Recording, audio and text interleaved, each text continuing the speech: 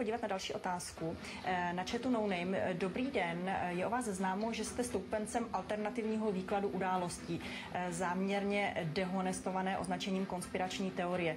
Jaký je váš názor na útok na Světové obchodní centrum, preventivní války, oklešťování svobod pod trouškou boje proti terorismu, nový světový pořádek a podobně?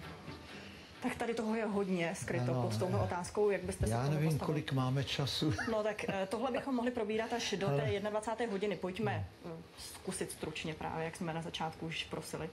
Tak počkejte, jak to vlastně vůbec bylo. Tak, no tak já bych chtěl odpovědět opravdu stručně, ale pravdu, začnu tím, že se opravdu o to velmi zajímám. A má, souvisí to s tím, co jsem říkal, že když to není v knižkupectví, tak eh, si opravdu najdete na internetu spoustu věcí, ale pak je otázka, kdo to píše, proč to píše, jaký je tam zájem, čili opravdu udělat si sám takovou mozaiku, ale ta vyplyne z toho, když to opravdu pozoruju hodně dlouho.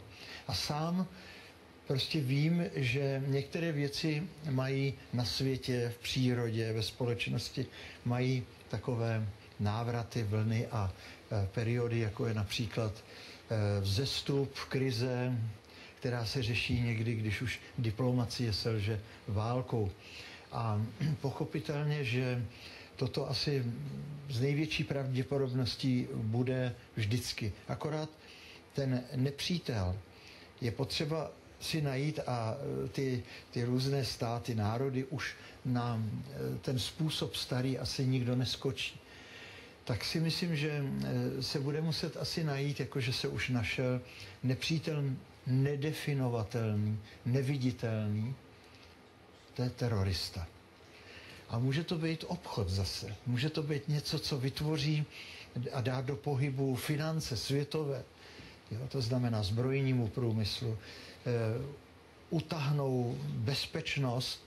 Jak můžou demokratické státy, jak to vysvětlí, že se utahne bezpečnost? že je tady nějaký nepřítel. Čili my e, tu určitou svobodu a volnost obětujeme jenom, aby se potíral ten nepřítel neviditelný. Jo?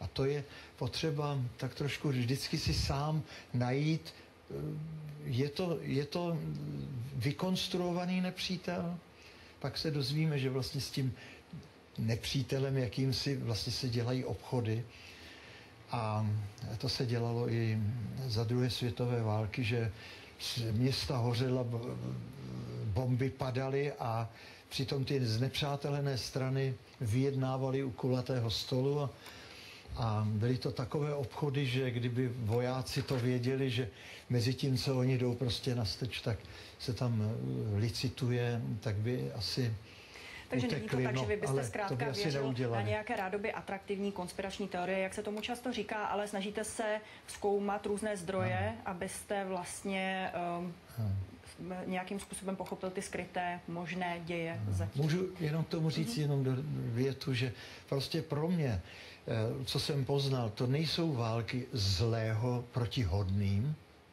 to v žádném případě. To jsou národy stejně kultivované jako ty ostatní to je jenom e, právě ta šachovnice. Někdo musí být ten, který to vyvolá. Je taková krásná píseň od Billy Joela. We didn't start the fire, jako my američané.